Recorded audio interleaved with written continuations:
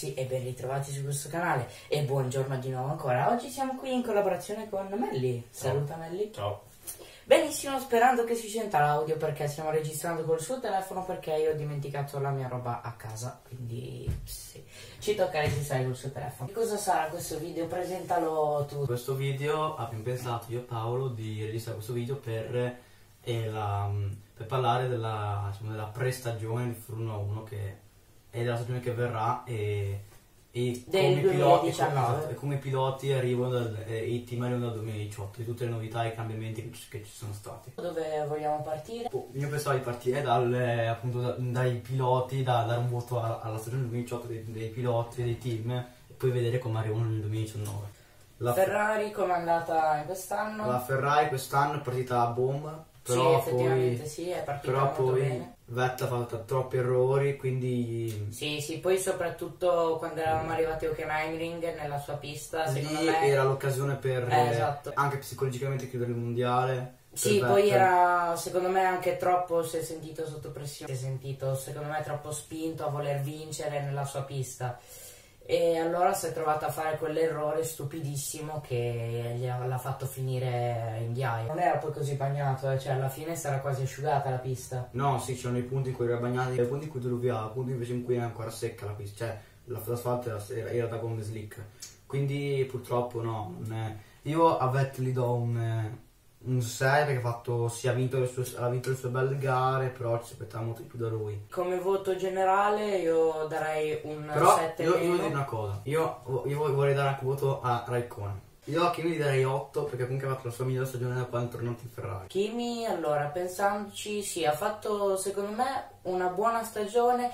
Io gli abbasso un po' il voto perché, soprattutto a Monza, che secondo me è stato più un problema di team che di Kimi. Beh, c'è da dire Perché che, han- che cioè, la, secondo la me Ferrari... non hanno preparato la partenza. No, poi la Ferrari ha, ha sbagliato perché eh, le ultime news che ho letto che arriva bene ha detto a Kimi che eh, ha detto il giovedì, il giovedì sera ha detto che lui era, era fuori dal, dal team per il 2019 lì si Eh, ha lì, eh, esatto. è preso la pollo ha. Magari, eh, magari hanno voluto, cioè, ha voluto proprio dire voi non mi volete, allora io faccio quello che voglio. Lì però sì, effettivamente è stato un pochetto scorretto è da stata, quel punto di vista. male Eh, esatto.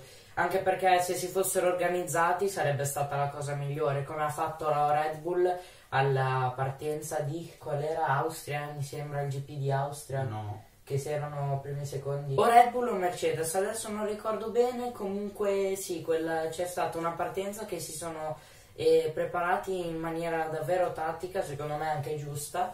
ah sì in Francia Eh, in Francia, la giusto. Per concludere, io a Kimi gli darei un bel 7 più, niente di meno. però la Ferrari comunque meglio. gli darei un bel 8 perché Sì, voto hanno- hanno scuderia, fatto- sì, hanno, hanno fatto una gran macchina quest'anno, era, è una bella macchina, una fiabilità perfetta perché non hanno mai avuto problemi tranne l'ultima gara con Kimi, ma per il resto macchina perfetta e secondo me sono curioso, il prossimo anno potrebbe, non vorrei più farlo, ma il prossimo anno potrebbe essere l'anno giusto.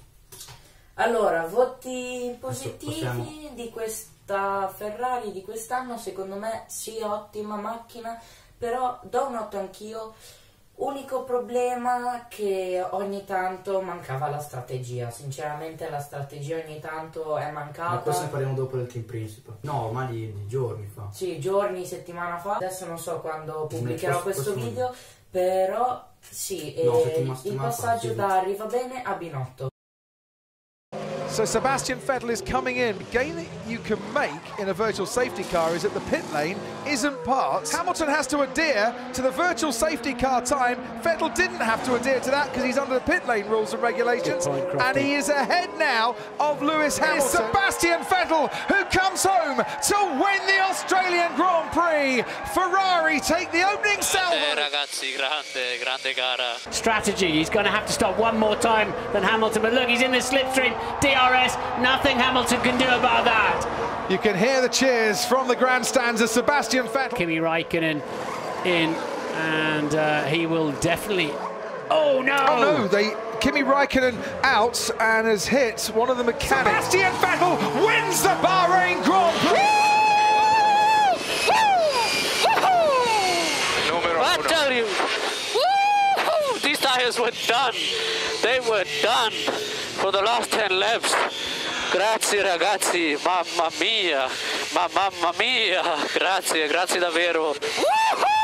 Here comes Valtteri Bottas. This is going to be so This close. is very tight indeed. Sebastian Vettel comes out. Bottas gets past Sebastian Vettel block and now tries to gain on the Valtteri Bottas. Hamilton's going to dive down the inside. Raikkonen as well. Oh, Sebastian he's done Vettel eh? goes down the inside and he locks up, and that's going to cost him one and two and maybe three places.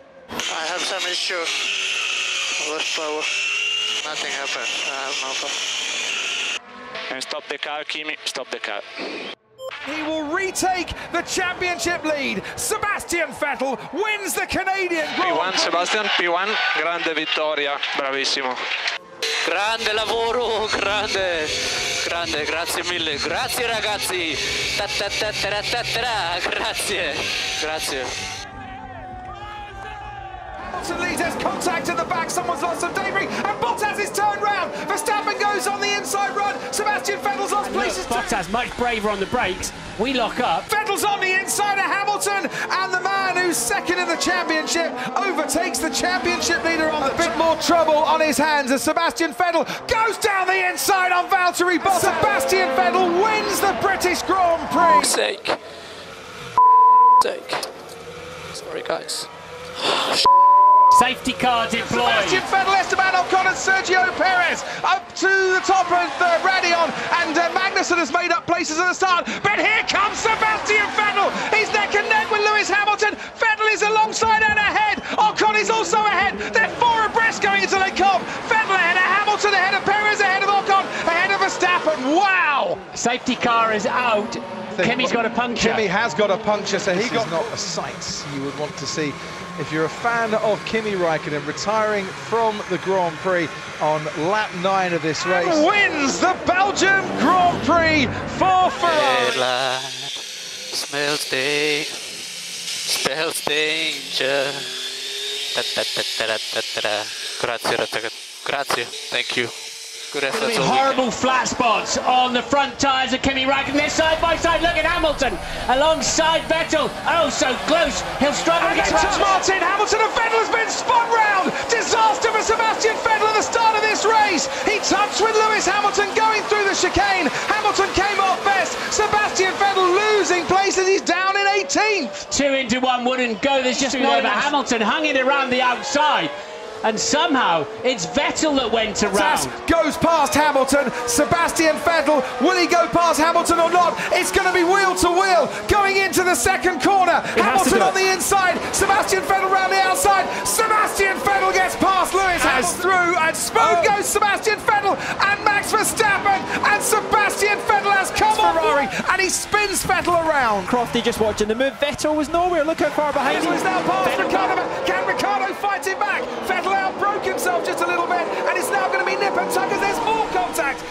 turn 12, and another car spinning off Oh, as he's Ricciardo again. into Sebastian Vettel, and they've rammed each other.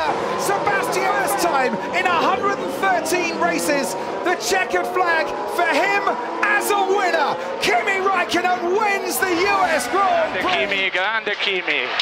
Yeah, thank you. Finally. Thank you, guys. for Kimi Raikkonen. It is the top step of the podium. It is victory, and he's maybe reborn in the USA. Verstappen's smile will be beaming in Mexico this evening. Verstappen wins the Mexican Grand Prix. What's happening? I don't have power. And that's Charles Leclerc on Kimi Raikkonen. Leclerc's been right on Raikkonen's tail. And that is the Ferrari of Kimi Raikkonen pulling over and parking. And his final race for Ferrari ends on the pit straight. Number 44 has really been the number one once again. He comes home to win the Abu Dhabi Grand Prix and to crown a championship winning season with victory in the final race in his Formula One career. Champ, what a career. You're a champ. Let's go win the Triple Crown. Yes, get in there, Lewis. What a way to see out 2018. Adesso, adesso andiamo, andiamo avanti, arriva la Mercedes, mi sa Mercedes, io gli do